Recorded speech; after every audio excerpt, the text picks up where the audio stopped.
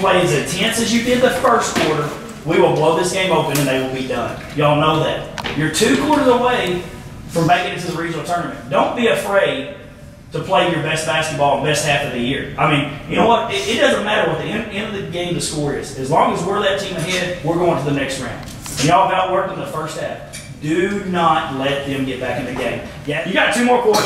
Two more quarters. If you get it done, you're going to go to the regional tournament. And y'all know what that kind of feeling that is. You got to play your tails off.